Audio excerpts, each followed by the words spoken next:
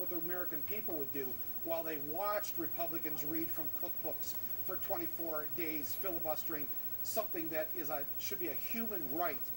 the right to see a doctor when you get sick and not have to worry about paying for it. Something that is a should be a human right the right to see a doctor when you get sick and not have to worry about paying for it. Something that is a should be a human right the right to see a doctor when you get sick and not have to worry about paying for it.